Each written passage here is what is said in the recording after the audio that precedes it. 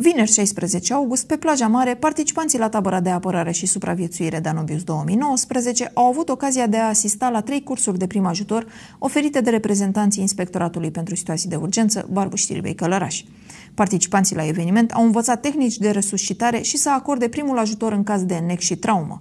Sâmbătă pe plaja mare vor veni reprezentanții Inspectoratului Județean de Jandarm Călăraș care vor prezenta tehnici de apărare. Evenimentul se va desfășura până pe data de 18 august pe plaja mare din Călăraș.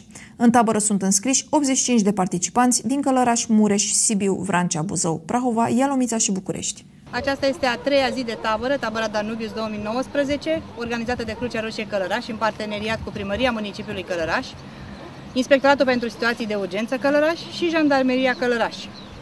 Astăzi avem trei ateliere organizate de către colegii noștri și prietenii noștri de la Inspectoratul pentru Situații de Urgență.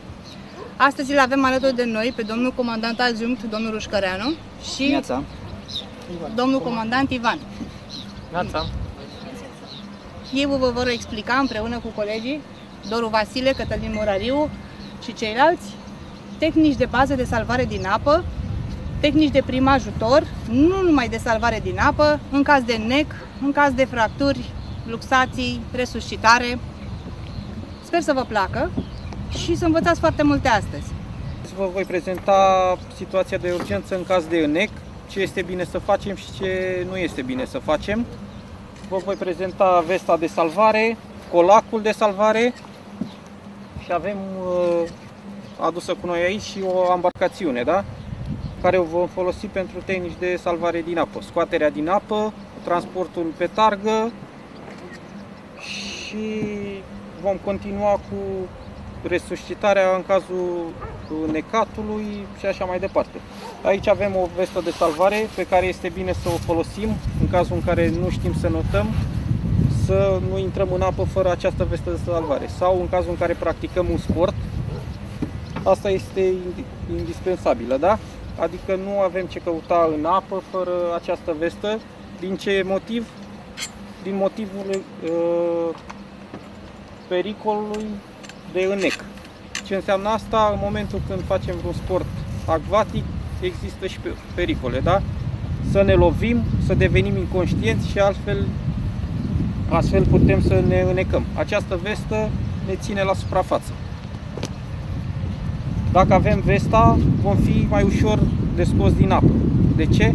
Chiar dacă suntem conștienți sau inconștienți, cu această vestă plutim, iar cei care vă salvează vă poate apuca de umeri da? și să vă tragă foarte ușor uh, din apă. Nu se simte nimic, că vă strânge un cleștișor acolo la deget, da? da. Dar pe ecran se afișează saturația voastră de oxigen și pulsul. Da, ai emoții. Se încarcă ca Nu trebuie să ai emoții. Da, emoțiile fac parte din noi, sunt constructive, sunt normale, da? 97, ai o... Saturația deci, de oxigen. Dacă saturația de oxigen este mai mică de 92%, atunci avem o problemă și ne trebuie să ni se administreze oxigen. Da? Asta Acum oxigenul tău este în limite normale, totul este bine. M-am Un și puls ai un speriat. pic Nu prea am mâncat, dar este, este ok, adică- Ai emoții sau nu știu, vă- nu știu, ai niște așteptări Urcă aici, la pulsul ăla. momentul ăsta Da. și totul o să fie bine, da? spre tine, dar în același timp și tragi și, an- și îndrepți. În momentul în care ai făcut gestul ăsta, oasele care se rupte se îndepărtează un pic în de cealaltă. Îndepărtându-se fra- punctul de fractură, lărgindu-se un pic, eliminați durere. Pe la a doua pozi- parte a acestui lucru este că oasele se aliniază la poziția normală. Da? Ele în fractură poate s-au încălecat, s-au strâns, s-au deplasat și așa mai departe. În momentul în care s-a făcut gestul ăsta, oasele s-au aliniat. Osul acela, cel os fracturat se aliniază. Al doilea pas este al doilea paramedic sau al doilea salvator în cazul vostru, da? Al doilea salvator care vine cu atel, de care vă povesteam. Atela care vă completează gestul, vă completează mișcarea voastră. Atelele sunt de mână, de picior, cea, cea mare, da? De mine. Membrul rămâne tras și uh, în ax și așa până când este atela montată complet, da? Fața portocalie pe membru.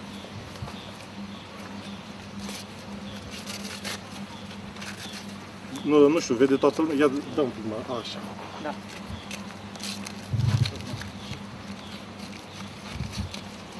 Bun. Palma aici.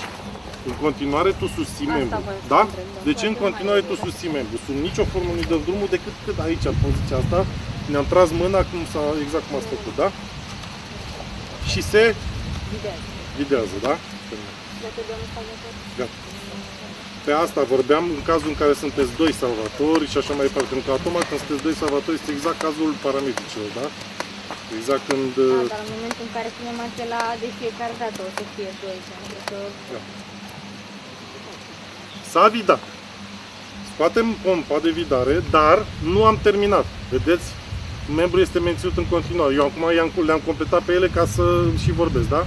Dar numai ele două teoretic lucrează. Mai este un pas foarte important.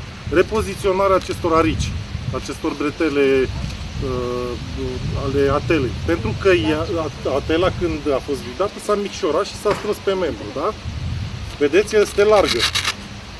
Se repoziționează se repoziționează.